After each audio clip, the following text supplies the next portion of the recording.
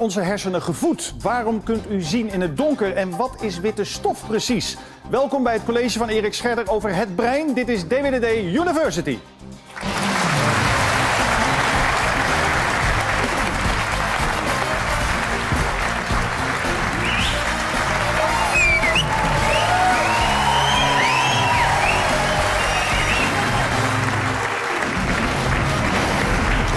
Welkom vanuit het prachtige podium Mozaïek in Amsterdam. Deze bijzondere locatie is de komende drie kwartier het decor van professor Erik Scherder. Met zijn zo kenmerkende enthousiasme zal hij ons ook in dit college bijpraten over de wondere wereld van ons brein. Mag ik een groot applaus, Erik Scherder!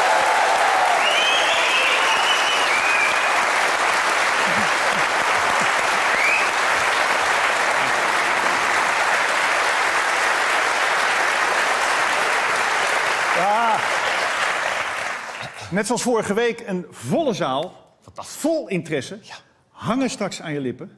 Ja. Geweldig. Kan je kort uitleggen wat we gaan beleven of zeg je laat mij maar gewoon beginnen? Ja, laat mij maar gewoon beginnen. Ben je fit? Helemaal. Ben je vorm? Ja, ook helemaal. Professor Scherder! Fantastisch.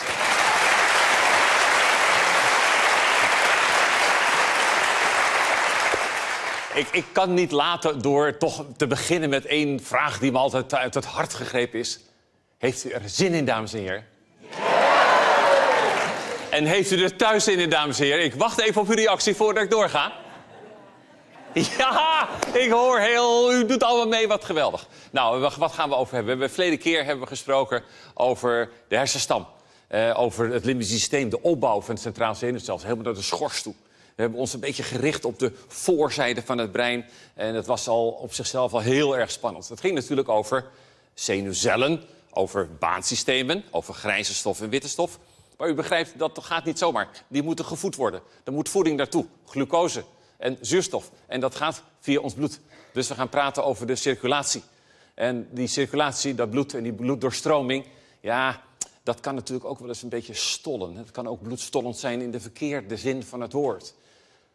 Daar gaan we ook naar kijken. En weet u wat ook bloedstollend is? Die turnoefening van Epke Zonderland. Nu komt het. Nu komt het. De drie combinaties. Daar is de, ja, de eerste. En de tweede. En de derde. Jawel! Hij heeft het geflikt. Drie vluchtelementen op rij. En hij doet zijn hele oefening hoor. Hij gaat voor 7-9. Dan de halve draai. Dan moet nog de kwast komen. En dan is alles beslissend. Nu de afsprong. De afsprong. Dubbel salto. De Flying Dutchman. En hij staat. Ik staat. Het is ongekend. Ah, het is echt ongekend, hè? Voelt u ook nog weer die shivering, dames en heren? U moet even reageren. Voelt u hem? U voelt die shivering. Dat limbisch systeem, die emoties, weet wel, waar we het al even over gehad hebben verleden keer. Ja, dat is echt hoogactief als je dit ziet. Het is briljant. En vergis u niet, hè, als u dit ziet, dat u niet alleen denkt... dat denk ik ook niet dat u dat denkt, hoor. Maar dit is puur motoriek, hè. Het is ook cognitie. Het is ook echt aandacht. Het is super aandacht. Het is plannen. Het is al die dingen bij elkaar die Epke daar naar voren brengt. Echt magnifiek mooi. Maar als ik nou naar u toe loop en ik geef u een hand. Dag. Vindt u dit ook briljant? U moet even reageren. Vindt u dit een briljante actie, die hand geven? Wie, even handen omhoog. Wie vindt het briljant? Oh, oh, oh, hier valt een wereld te winnen. Want niemand. Even aan thuis vragen. Wie vindt het thuis briljant? Handen omhoog graag, ik zie het allemaal.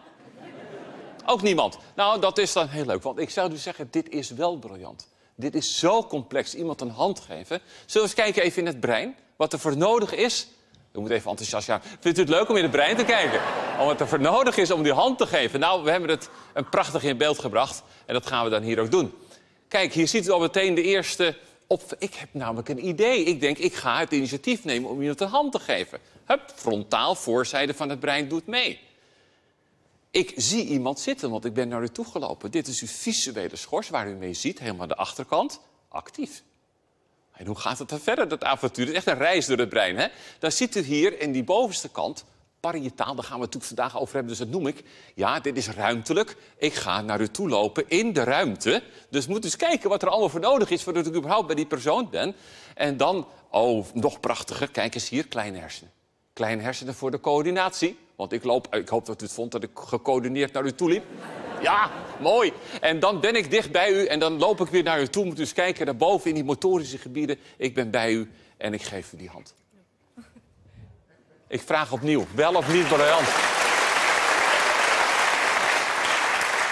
Waanzinnig briljant, want hoe belangrijk is niet een handfunctie? Hoe belangrijk is niet een handfunctie? Staan we er wel voldoende bij stil? Hè?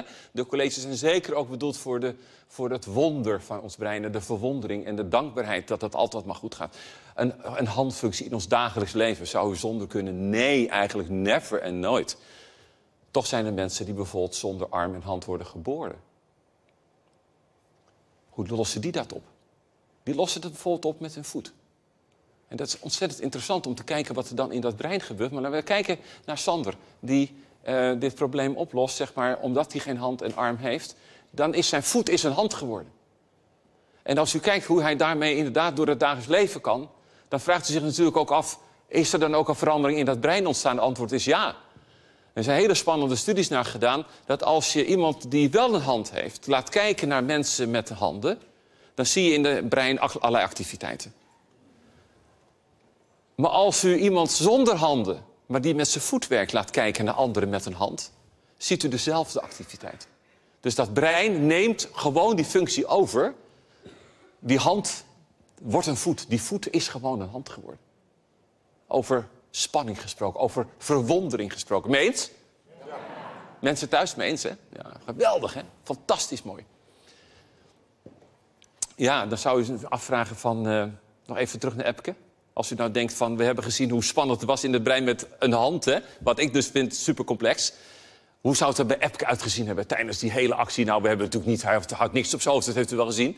Maar kijk eens, alles zoveel keer meer uiteraard als Epke die waanzinnige termoefening doet. Natuurlijk. Maar al die gebieden die ik heb aangewezen, stuk voor stuk, maar dan zoveel keer meer, is magnifiek mooi. En als ik dan Epke aan, aan die rechtstok zie, hè, ik weet niet of u dat gevoel ook heeft, maar dan denk je bij jezelf, wat hij zo, vooral als hij met zijn benen omhoog, nou u ziet wel, ik ben geen turner, hè, maar u kunt zich iets bij voorstellen. Dan denk je, wat zal dat bloed in die man zijn brein gestuwd worden? Mee eens? Hè? Dat voel je, voel die, dat bloed stuwt erheen. Laten we eens kijken naar die bloedvoorziening van het brein. Gaan we eens naar kijken. Ik doe mijn jasje even uit, want we hebben daar een echt brein voor. Hebben we mogen lenen van collega Blijs uit het UMC in Utrecht. En daar zijn we heel dankbaar voor. Ik leg het jasje eigenlijk even weg. Zo. En dan gaan we dat eens even. Het is natuurlijk ontzettend fijn en ook een heel kostbaar moment om u dat te laten zien.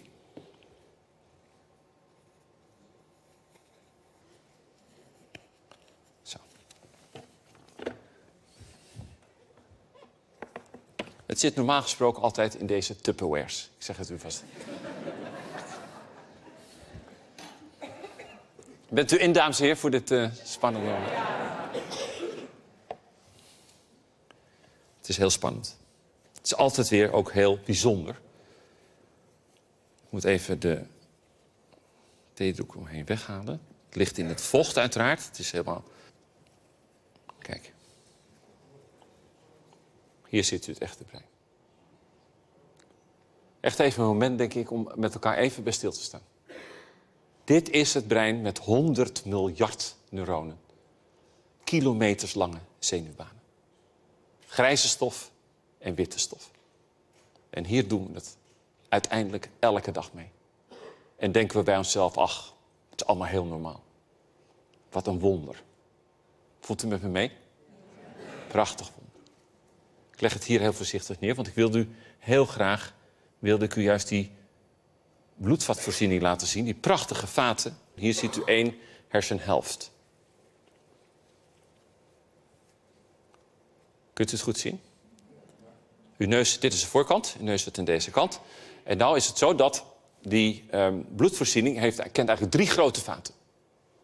Een middelste grote vat, ik wijs het hier even aan, de rand, dus het rode gebied wat u ziet. Dat middelste grote vat, daar ziet u er meteen al van, dat doet dus een heel groot deel van het brein.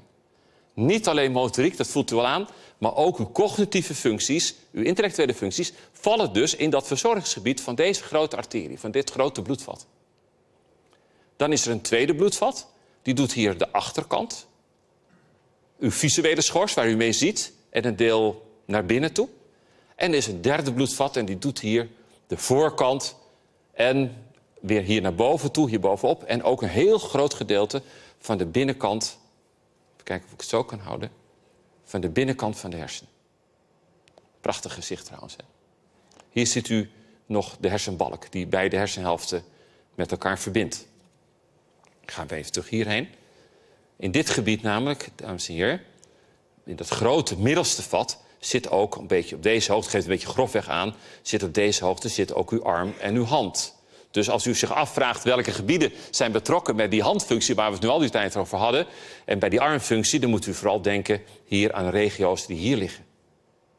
En het voet- en beengebied ligt dan meer, nog even omdraaien, ligt dan veel meer hier aan de binnenkant. Kom ik straks nog op terug, dat is een belangrijk onderdeel. We hebben nog een hele mooie, ik zet het zo neer. Kijken of het tegen elkaar aan kan blijven staan, heel voorzichtig. Met alle respect, zo. We hebben ook een hele mooie animatie nog van de bloedvaten. Kunnen we nog even kort kijken van die drie grote vaten. Uh, hier ziet u dat grote middelste gedeelte. U ziet dat is echt een heel groot gedeelte. En hier zet u arm en die handfunctie. Dan de, dat voorste arterie, die, dat bloedvat, wat helemaal de voorkant doet. En dat bloedvat wat juist uw visuele schors waar u mee ziet, dat is helemaal de achterkant van het brein. Het kan natuurlijk ook misgaan met die bloedvoorziening. Het kan misgaan en het kan misgaan in de vorm van het feit dat mensen een beroerte kunnen krijgen. 47.000 mensen per jaar krijgen een beroerte. En wat kan er misgaan? We kunnen voor vandaag twee dingen eh, als voorbeeld nemen. Eén, wat er mis kan gaan, is dat een bloedvat knapt. Dat er een bloeding ontstaat in het brein. Uit een zwakke plek in het bloedvat. Misschien dan hoge bloeddruk. Hoge bloeddruk drukt op die zwakke plek en uiteindelijk springt dat vat. Hebben daar een hele mooie animatie van. Dat wil ik u graag hier laten zien. Uh, wat u zich daarbij kan voorstellen. Hier ziet u het bloedvatsysteem weer. En kijk, en hier, dit is die zwakke plek. Dus bijvoorbeeld een, een, een, uh, door hoge bloeddruk ontstaan. En nu ziet u dat uiteindelijk dat vat springt. En u ziet daar een bloeding ontstaan in, het, in die hersenen. En wat u ziet, dat is een belangrijk punt, is dat die bloeding niet alleen zeg maar, druk uitoefent en schade op de plek van die bloeding. Maar u begrijpt ook, er is natuurlijk op zich geen ruimte voor bloed in het brein. Het zit al, u heeft het net gezien, heel dicht op elkaar. Dus wat je dan ook uh, moet verwachten of kunt verwachten... is dat ook op, op afstand hersenweefsel zeg maar, kan worden in elkaar kan worden gedrukt. Dat die, die bloeding die begint te drukken, uh, dat weefsel hier wordt opgedrukt... maar ook op afstand kan je dus letsel verwachten. En je hoopt natuurlijk, naarmate die bloeding zeg maar, zou kunnen worden geabsorbeerd, kan worden opgeruimd... dat dan die druk hier uh, weer minder wordt, waardoor je ook herstel van functie ziet. Dat hoop je. In ieder geval van harte geldt dus niet voor iedereen. Vindt u het helder als ik het zo uitleg? Dus die, die bloeding, die plek, maar ook op afstand... kan een um, behoorlijk effect hebben op het functioneren van die persoon. Een, ander, een andere mogelijkheid is dat er een bloedprop ontstaat. Bijvoorbeeld vanuit het hart. We hebben daar ook een hele mooie uh, film van, fragment van. Hier ziet u zo'n bloedprop, die is nu nog klein. Grote vaten, kan hij nog wel doorheen. Maar naarmate het vat kleiner wordt, zal die prop uiteindelijk tot een probleem kunnen leiden. Eh, omdat die vast komt te zitten. En als die vast komt te zitten, dan daarachter ontstaat dan een gebied waarin dat infarct plaatsvindt. Eh, een gebied wat gewoon geen voeding meer krijgt. Geen glucose, geen zuurstof en dergelijke. En dan ontstaat er een uh, beeld zoals u dat hier ziet. En u ziet ook in dit geval zit het dus ook heel erg juist weer in dat middelste bloedvat, zeg maar. Daar waar het uh, in heel veel gevallen plaatsvindt. Uh, daar wil ik eigenlijk even op terugkomen. Omdat uh, als u kijkt naar die middelste arterie, dan kan je dus, de bloedvat, dan kun je dus zeggen dat als daar schade ontstaat, is er dus een enorme kans dat hand en arm is aangedaan. Want het zat dus ik laat het nog even zo, zat dus in dit gebied. 70% van de infarcten vindt plaats in dat middelste bloedvat. Dus 70% van de mensen met een infarct hebben een verhoogde kans op een, verlamming van hand en arm. Terwijl het been, zeg maar, dat staat dus aan de binnenkant, relatief gespaard is. Nog steeds oké? Ja? Bent u nog bij me, dames en heren? En hier ziet u, dat is natuurlijk echt indrukwekkend, hè? Uh, wat het gevolg is van zo'n infarct. He, uw neus zit nu aan deze kant. En u ziet hier precies in dat middelste bloedvatgebied... daar waar ook die hand en die arm zit... ziet u wel dat deze persoon heel erg getroffen is. We hebben bij ons vandaag Ans, Ans Gravendaal. En ik mag Ans zeggen omdat ik Ans heel goed ken. En um, Ans die um, heeft zo'n infarct gehad. Um, ik ga zo meteen naar haar toe. Ze is daar. En Ans die heeft dat infarct gehad op basis van een ongeval eigenlijk. Uh, zij was aan het schaatsen. Uh, ik zal u zo meteen de foto laten zien. Dat mogen we natuurlijk van Ans laten zien aan u. Zij was aan het schaatsen op jonge leeftijd, want ze is nog steeds jong. En zij kwam te vallen op de schaatsbaan. En door die val ontstond er een klein scheurtje in haar halsslagader hier. En zeg maar, in de tijd bleek dat uit dat scheurtje vandaan uiteindelijk een bloedprop kwam. En die bloedprop die ging naar haar hersenen toe en die veroorzaakte een groot infarct. Precies in dat gebied, in dat middelste bloedvat. Als u hier kijkt naar deze foto, dan ziet u dat hier bijvoorbeeld... Hè, en ik zal dit, nu dit brein er even bij, want ik heb net mijn handschoen nu uit. Maar als u dit zo naast elkaar kunt houden... dan ziet u hier een enorm groot letsel ontstaan. Hier diep eigenlijk in die slaapkwap. Ook een beetje naar die voorkant toe. Eigenlijk precies in dat gebied, als ik het zo mag zeggen, wat, wat, hier, wat u hier ziet. Kunt u zich een beetje voorstellen, dames en heren? Als ik het zo naast elkaar hou. Ja, is dat helder? Dus als u dit zo ziet, dan verwacht je ook dat je denkt... wauw, dat moet iets met die hand en die arm uh, gebeurd zijn. En dat is ook zo. En uh, nou, Hans, ik uh, loop naar je toe. Fantastisch dat je er bent. Dat ja. je met ons jouw verhaal wilt delen. Kan je ons laten zien, Hans, wat kun je nu bewegen met je arm en met je hand? Nou, eigenlijk niet zoveel. Dit is wat ik kan. Ja. Ik kan geen kopje meer oppakken. Die is eigenlijk ben ik helemaal uitgeschakeld met mijn linkerhand. Ja. Je zegt eigenlijk hè, dat door die schade die overzat in je rechterhersenhelft... Ja. want de motorische banen die lopen gekruist, zoals u misschien weet... Uh, je zegt eigenlijk, het is uh, eigenlijk niet functioneel meer, in je hand, in je arm. Nee. En hoeveel jaar zijn we nu na ongeveer? Ik heb het in 2007 heb ik het opgelopen. Ja. Maar ik ben wel elke dag aan het oefenen en aan het kijken. Want uh, ik ben al acht jaar aan het nou ja, proberen om er zoveel mogelijk uit te halen. Ja. En mijn kracht is heel erg om vooruit te kijken en niet achteruit te kijken. Ja. En, uh, ik heb ook nu na acht jaar kan ik zeggen, ik heb mijn leven redelijk op orde. Maar dat is niet van vandaag op morgen gegaan. Want ik heb er echt heel hard voor moeten werken. Met ondersteuning van heel veel mensen in het revalidatiecentrum. Maar ook mijn gezin, die hier naast mij en om mij heen zit. Ja. Want, uh, en ik ben nog steeds bezig. Ja, dat is duidelijk. dat is duidelijk. En dat, dat, dat is ook fantastisch om te zien hoe je ervoor knokt... en hoe jullie met elkaar op weg zijn steeds. Uh, ik wou je nog heel één ding vragen als dat mag. Want we hebben laten zien dat in het brein die voet en het been... dat zit een klein beetje aan de binnenkant. Niet zo in dat verzorgingsgebied van die middelste bloedvat. Um, het is best veel gevraagd voor, dat weet ik. We zou je een klein stukje willen lopen voor ons zo. Heel klein stukje om de mensen te laten zien dat het lopen wel is aangedaan... maar dat het toch nog mogelijk is. Ja. En Erik loopt altijd met me mee. Ja. ja, omdat ik een angstige man ben. Want eigenlijk mag ik niet zo lopen, want ik ben valgevaarlijk. Maar na acht jaar denk ik, jongens, mijn leven gaat ook door... en anders val ik maar een keer. Is het duidelijk? Ja, ja, het is Dan gaf ik laatst college en toen vroegen mensen aan mij... Goh, Anders kan je ook traplopen. Dat we allemaal studenten van geneeskunde. En toen zei ik, ja, dat kan ik wel. En toen ben ik de trap opgegaan naar boven. En toen was ik boven. Er zaten 300 allemaal geneeskundestudenten in de zaal. En toen was ik boven en zei ik, is er een dokter in de zaal? nou. Maar ik moet je wel zeggen, Als, als je trap loopt... dan ben ik echt geen centimeter van je verwijderd. Uh, dat, zo werkt het wel. Nee, nee. Heel, heel erg bedankt, Anne.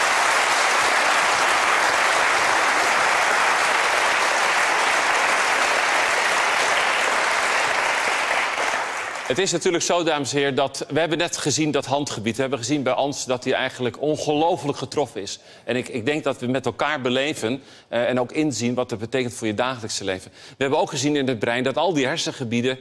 Uh, dat het er zoveel verschillende zijn voor één handfunctie. Maar we weten inmiddels hoe mooi het is en complex het is. Maar die hersengebieden kunnen alleen maar met elkaar praten...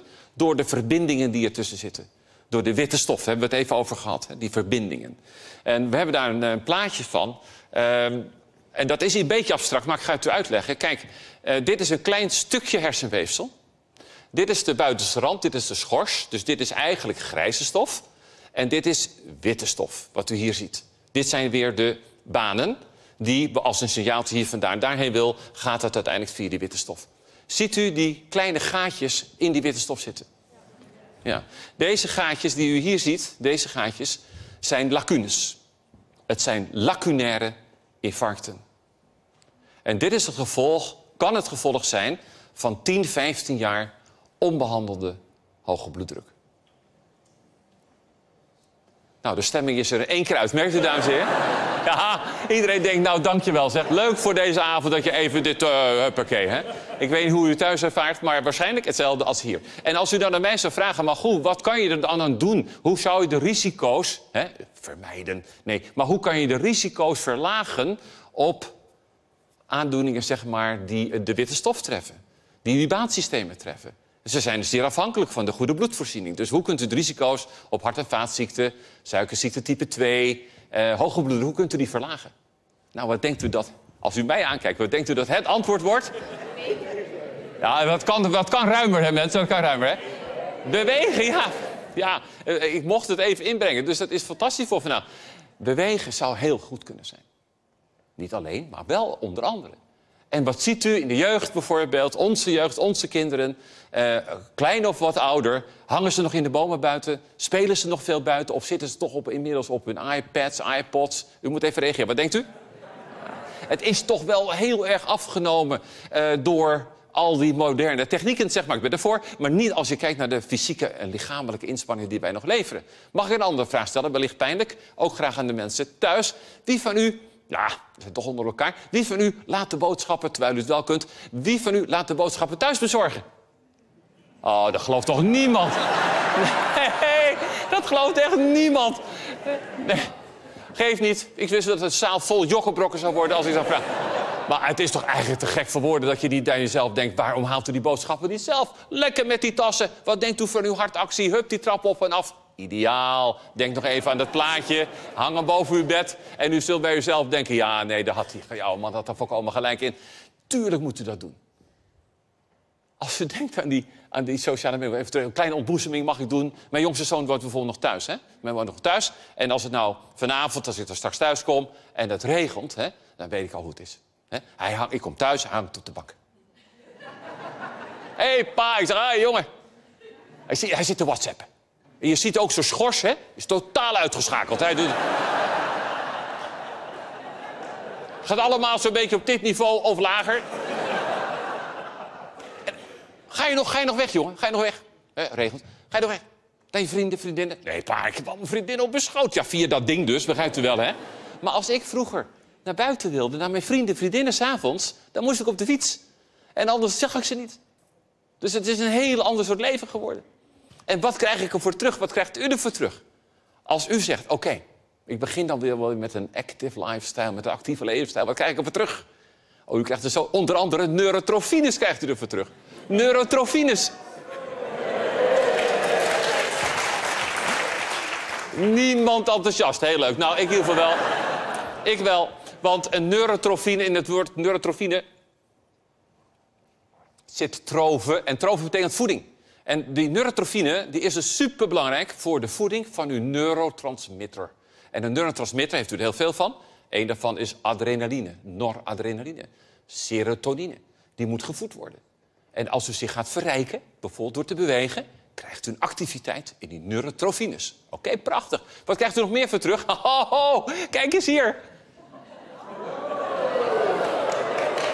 Dit is een nieuw neuron. Dit is een nieuwe zenuwcel. Moet dus kijken naar die contactpunten hier in uw brein. Dat krijgt u er gewoon voor terug.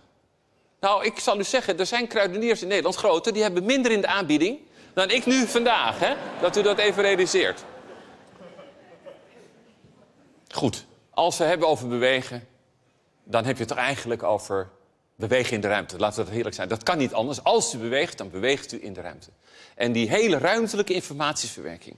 Niet alleen met bewegen, maar gewoon waar zit dat dan in dat brein? En dat is onze reis die we maken. Want als we dan kijken, kan het ook hierop aanwijzen, dan ziet u dat, dat uh, dit is de voorkant van het brein. We hebben het over frontaal in het eerste college gehad. Vanavond gaan we dus vooral heel goed kijken naar die parietale lob. En die zit op deze hoogte. Op deze hoogte zit hij. En die lob die speelt een geweldige rol. Hier, prachtig. Ja, veel mooier nog dan dit gebeur. Kijk, dit is die parietale lob. Waanzinnig belangrijk voor onze ruimtelijke informatieverwerking. Het lijkt me leuk om even met u te proberen. Uh, zullen we uw ruimtelijke informatieverwerking een beetje toetsen? Krijgt er spijt van? Als u nou eens recht voor u kijkt. Recht voor u kijkt. En dan gewoon, zeg maar, gewoon, niet, niet links en rechts, maar kijk nou eens recht voor. Wat, als u nou recht voor u kijkt, ziet u dan ook iets links en rechts van u? Ja, ongelooflijk toch? Nee, nee, nee, verbaas u even. U kijkt recht vooruit en toch ziet u mensen links en rechts van u zitten. Mensen thuis, als u dat doet, u zit misschien met anderen of u alleen, maar u ziet ook links en rechts van u, ziet u spullen om u heen. U neemt dus in de ruimte totaal waar. Doet u nou uw ogen dicht. Iedereen doet zijn ogen dicht. Thuis ook graag ogen dicht. Denkt u nou eens in waar bij u thuis de schilderijen hangen, terwijl u uw ogen dicht houdt. U weet het. U weet ook hoe de keuken er momenteel voor staat. Is, wel of niet opgeruimd bedoel ik. U, u weet precies waar uw spullen liggen. Doet u maar weer open, hè, uw ogen even.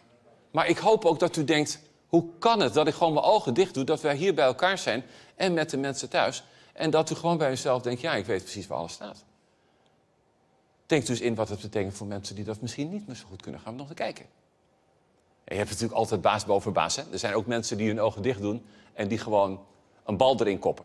Can Ronaldo still hit the back of the net if all the lights are turned off and he's in complete darkness? Dark! Light! Hey, that's one straight in the bag. The night vision replay shows how Ronaldo performs.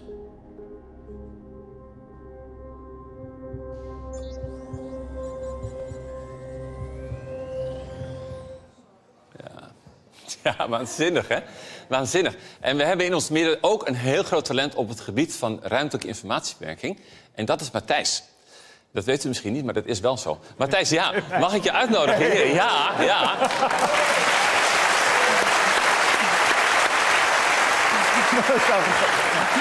Hartelijk welkom.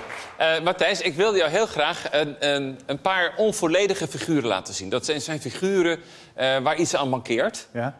En, um, maar ik vraag dan aan jou of jij in één oogopslag ziet wat het voorstelt. In het begin is het makkelijk, het wordt wel wat lastiger. Uh, maar ik schat zo super hoog in. Kan ik afgaan? Vind je de opdracht helder? Ja. En u kunt natuurlijk thuis en hier van harte, vind ik juist leuk, kijk mee. Kijk of u het ziet wat het uiteindelijk voorstelt. Het heeft dus een, doet een beroep op uw ruimtelijke inzicht. Nou, laten we de eerste opstarten. Vogel. Vogel.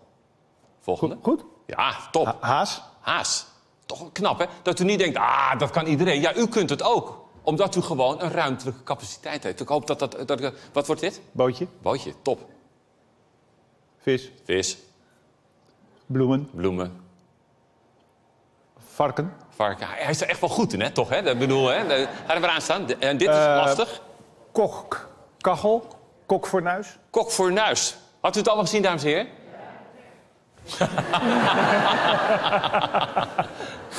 we hebben een afvaller. Ja, we hebben afvaller. Uh, giraf. Giraf, goed.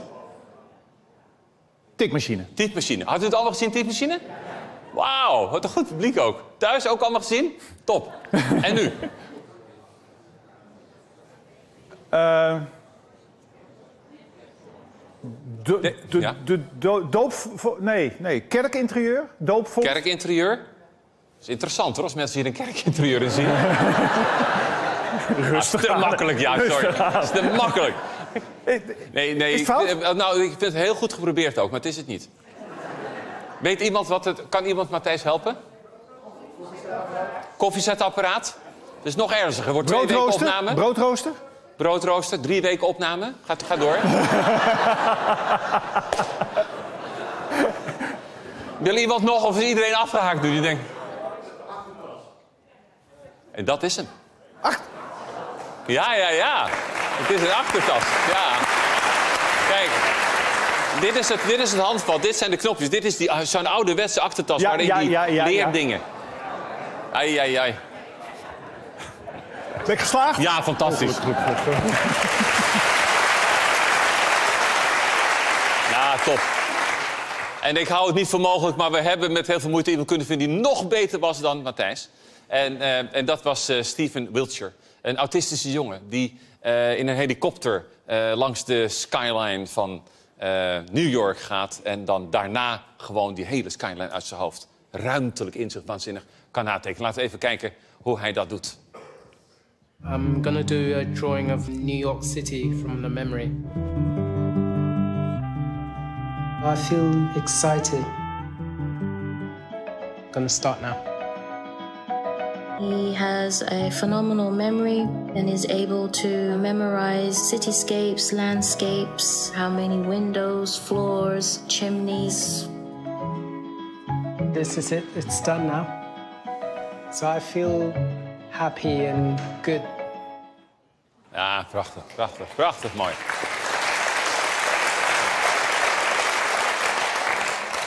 Maar het kan natuurlijk ook niet in die top gaan. Dat kan ook juist heel moeilijk zijn voor mensen. En dan kijkt u altijd een beetje in mijn hart... als we het ook hebben over eh, mensen bijvoorbeeld die lijden aan een dementie. Bij mensen met bijvoorbeeld de ziekte van Alzheimer... we hebben het over de parietale lob, hè, die zo belangrijk is voor de ruimtelijke vermogens. En bij de ziekte van Alzheimer gaat zowel links als rechts... gaat die parietale lob achteruit. er is een hele mooie serie gemaakt van William uh, Utermolen... Uh, een schilder die zelfportretten maakt... En hij heeft een zelfportret gemaakt voor de ziekte. En daarna, in het verloop van die ziekte... en u ziet dan aan de hand van die zelfportretten... hoe dat ruimtelijke vermogen van hem echt ernstig aangedaan raakt door die ziekte. Laten we even kijken. Dit is een portret dus van voordat hij ziek werd. Echt een heel mooi portret. En dan ziet u uh, in de verloop van het uh, ziektebeeld dat het anders wordt. Kijk, als ik even hierbij ga staan, dan ziet u dat met name hier die ruimtelijke verhoudingen die gaan gewoon verloren. Die gaan, die gaan er van lieverleen, worden dat steeds moeilijker voor hem om die te houden. De volgende. Kijk, ziet u, hier zie je eigenlijk het verloop. Het wordt steeds ernstiger in dat beeld en het is dus terug te vinden in die ruimtelijke, zeg maar achteruitgang, in die ruimtelijke vermogens. En hebben we er nog één, dit is bij één naar de laatste. Goed. We hebben gesproken over ruimtelijke vermogens. We praten over de parietale lob. Een reis door het brein. We hebben gekeken naar de incomplete figuren. U kunt het zomaar aanvullen zonder enig probleem. U ziet ook trouwens wat er aan mankeert. Hè? Dus u ziet wat er aan mankeert en u vult het in. Maar stelt u zich nou eens een situatie voor dat iemand het uh, niet kan waarnemen, een deel, maar er zich niet bewust van is. Dat is echt een beetje lastig. Hè? Dus iemand neemt een deel van zijn omgeving niet waar, van de ruimte, maar is zich er ook daar niet bewust van dat hij het niet waarneemt. En dan praten we over een stoornis en die stoornis heet neglect. En verwaarlozing, heel veel theorie over. Ik ga een beetje met mijn rug naar u toe staan. Even, excuus, maar dat is makkelijker. Uh, de stoornis doet zich dan vooral voor in de rechterhersenhelft. En die rechterhersenhelft is een beetje dominant als je praat over ruimtelijke informatieverwerking. Maar met name toch wel links. En wat je ziet bij mensen met een neglect, bijvoorbeeld na een infarct in dat gebied, is dat de linkerruimte, dus alle informatie die zich daar afspeelt, die wordt niet meer bewust waargenomen. De patiënt, dat is een belangrijk punt, de patiënt kan nog wel zien. Hij ziet gewoon perfect.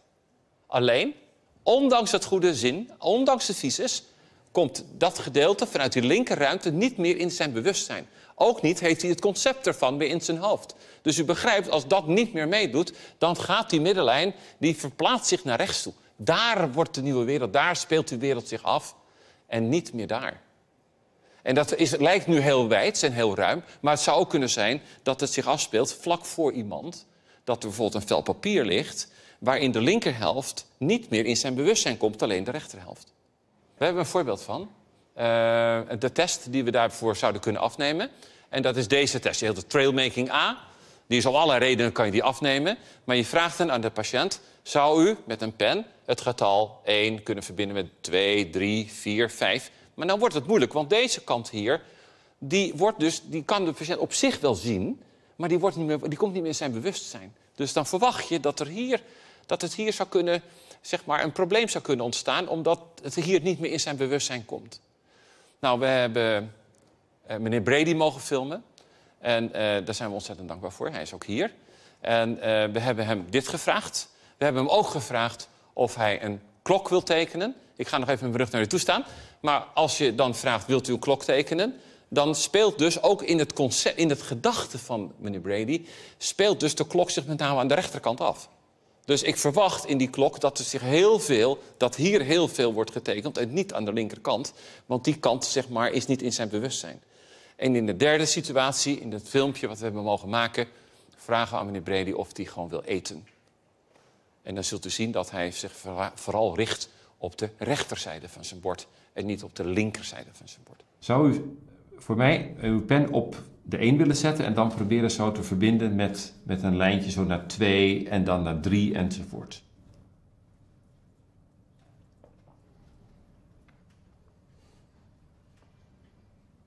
En ik zie die 6 niet meer, of niet? Oké, meneer Brady. Dank u zeer. Zou u eens een klok kunnen tekenen, een grote klok?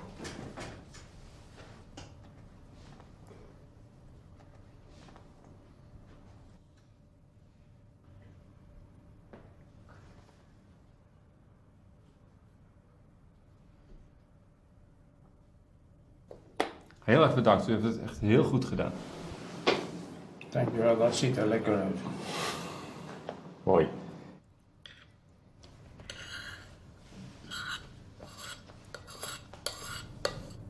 Heeft het zo goed gesmaakt, meneer Brady? Jazeker. Meneer Brady, heel erg bedankt dat we bij u mochten filmen. Fantastisch.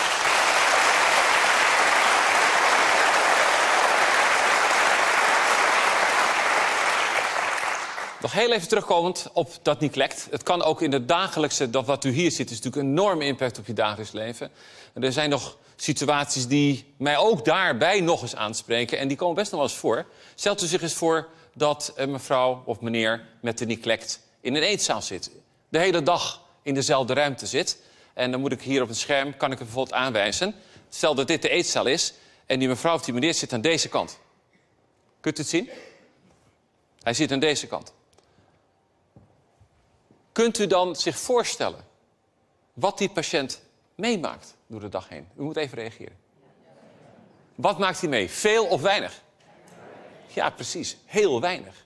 Terwijl als je de patiënt met het neglect aan deze kant neerzet, dan is die hele dag aanwezig. Zo moet u die impact inschatten. Dus het is nogal wat als je daarmee te maken hebt. Ik maak een koppeling nog even naar Ans. Ans had een infarct ernstig een groot infarct. En u heeft gezien bij Ans dat ze ernstig verlamd is aan hand en arm. Stel u voor dat u herstelt, dat iemand herstelt van zijn verlamming. Moet nog even in de gaten houden weer, even aan denken aan het gebied wat eh, zeg maar onder die middelste arterie valt. Hè. Dat was dus een gebied wat heel groot is, een groot gedeelte van dat brein. Ik kan hier nog even op aanwijzen, dat hele rode gebied. Daar zit dus ook die parietale lob bij. En daar zitten dus ook die motorische gebieden bij die bij ons erg zijn aangedaan. Maar ook die parietale lob. Dus moet je zich voorstellen dat je een infarct hebt. Dat je herstelt van die verlamming. Stel dat dat lukt. En dat er dan toch nog een apraxie overblijft. En een apraxie betekent dat iemand dan niet meer die verlamming heeft. Maar toch handelingen niet kan uitvoeren omdat iemand niet meer weet hoe die handelingen in de goede volgorde moeten worden uitgevoerd. En dat is natuurlijk essentieel. Alle handelingen die wij doen door de dag heen, doen wij in een bepaalde volgorde. Want anders dan gebeuren ze niet en dan heeft u eigenlijk ook niks. Ik moet even op u laten indringen. Dat u dat realiseert, dat er zoveel mogelijk is. Terwijl je dan denkt, ja, nou ja, dan ben je dan toch hersteld van het een. En dan zou het ander even goed nog aanwezig kunnen zijn. Laten we even een klein testje doen, hoe simpel het ook lijkt, zeg maar. Maar ik hoop dat u dan bij uzelf ook zult denken... wauw, dat, dat is toch wel zo eenvoudig, dat kan ik gewoon. Doet u mij na? Heeft u zin in een klein testje? Mensen thuis, doet u weer mee? Ja? Oké, perfect. Dit is het. Ik doe het even voor, drie handelingen, en daarna doet u ze na. Oké? Daar komen ze. Nu. Voor de enkeling nog één keer opnieuw. Schitterend, hè? Makkelijk of niet makkelijk? Ja, makkelijk. U doet het gewoon in de goede volgorde. U doet allemaal na. Maar stel voor dat dat dus niet meer lukt. Wat het dan betekent. Hier hebben we een test die kan worden gedaan um, om die volgorde te bepalen. Dit is de Kimura-box. En die Kimura-box die, uh, is heel bekend, heel beroemd ook. En de bedoeling is het volgende. Dat u met uw wijsvinger op die rode knop drukt. Vervolgens met uw hele hand aan de hendel trekt. En met uw duim op de onderste op dat plaatje hier met uw duim naar beneden drukt. Dus wijsvinger, hele hand, duim naar beneden. Wijsvinger, hele hand, duim naar beneden. Wijsvinger, hele hand, duim naar beneden. Dat is de volgorde. En wil u laten zien, uh, bij meneer Harris, Super dankbaar ook natuurlijk dat we daar bij hem mochten filmen, dat begrijpt u. En we hebben aan meneer Hers gevraagd, uh, ook met een infarct heeft hij gehad. Uh, hij is verlamd geweest, dus dat u dat even goed aan elkaar blijft koppelen. Hij is hersteld. Let u vooral op als u het filmpje ziet en u kijkt naar zijn hand... dan denkt u, wauw, ik zie eigenlijk helemaal geen verlamming meer. Nee, maar de vraag is, kan hij de volgorde, kan hij die handelingen nog indenken... wat het is om 1, 2 en 3 te doen? Laten we daar eerst naar kijken. Ja. De bedoeling is dat u met uw wijsvinger hierop drukt en dan met uw hele hand aan de hendel trekt en met uw duim op dat onderste. Ja, met, met, met mijn wijsvinger. Zit deze toch? Ja, met uw wijsvinger van uw rechterhand. Zo? Ja. Zo? Met, met, probeer met uw wijsvinger. Nee, wij, wijsvinger. Oh, wijsvinger. Nee. Zo, zo. Nee. Deze. Ja, ja, prima. Ja. Deze. Prima. Deze. En uw duim. Nee, nee. Mijn duim is hier. Perfect. Had u goed, goed beeld, hè? Zo moeilijk is dat. En toen hebben we hem gevraagd van... zou u nog een keer een maaltijd voor ons willen klaarmaken? Een maaltijd die meneer Harris uh, zijn hele leven heeft klaargemaakt. Dus het was niet iets nieuws, een nieuw recept. Nee, het was een recept die hij heel goed kende, zeg maar. En onder begeleiding van de ergotherapeut van Ria heeft hij dat gedaan. En dan moet u nog een keer kijken wat het betekent als je een probleem hebt in de volgorde van handelingen... wat invaliderend het eigenlijk is, om dan te kijken of je nog een maaltijd kunt klaarmaken. In de la. Ja. Dit is het kastje. Ja. De la. Oh, oké. Okay. De la. Kijk wat ik wil doen. Weer. Snijd, snijd hem van plan.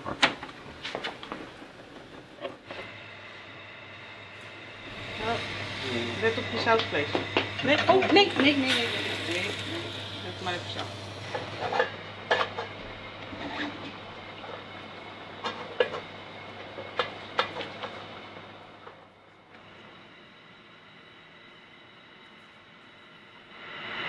Worden. En zie je het Ja, zie je. Het mes? Deze. Nee, dat is vlees. Het mes. Ja, het is Ik hoop, dames en heren, dat u, dat u met me meevoelt. Dat u met me meevoelt dat iemand herstelt... en dat hij eigenlijk niet terug kan naar huis. Want je kunt niet voor jezelf zorgen. En er is dan nog een hele weg te winnen. En, uh, en voordat je dan naar huis kan, zal dit toch echt opgelost moeten worden. We zijn heel dankbaar, uiteraard, dat meneer Hers ons de kans gaf om het te filmen bij hem. Maar ik wil het college afsluiten. Maar niet voordat ik met u nog een keer gedeeld heb daar waar we mee begonnen zijn. Namelijk, hoe kostbaar is niet een handfunctie? Hoe briljant is het niet gewoon om uw handen te kunnen gebruiken? Om de goede volgorde te doen in die handelingen. Dat u hier niet meer de zaal uitgaat. Toen u de zaal inkwam, heeft u toen gedacht... wauw, ik heb mijn handen niet doen. Wie heeft er gedacht? Als u nou de zaal uitgaat, denkt u dan niet... wat een wonder dat het kan. Als ik naar Matthijs toe loop om hem nu de hand te geven dan hoop ik dat u in uw hart voelt. Wauw, het is toch geweldig dat wij dat gewoon maar kunnen doen.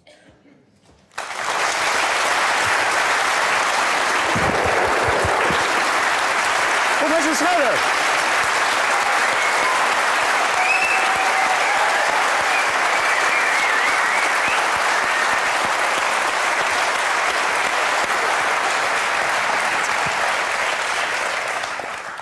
Fantastisch. Nou, fijn. Ontroerend. Ja. Magistraal. Nou ja, ontroerend ook zeker, ja. Hans bedanken. Meneer Brady bedanken. Waar gaan we het volgende week over hebben? We gaan, volgende week gaan we de reis voortzetten. Mhm. We gaan naar de visuele schors. We gaan zien. En, en als je ziet dat je dan toch mensen ziet die het niet kunnen herkennen. Uh, we, we, trekken het in de relatie met geheugenprocessen. Mhm. Oh ja, ja, het wordt echt ontzettend spannend. Nog een week, nog een week, nog een week. Nog één keer, jongens. Professor.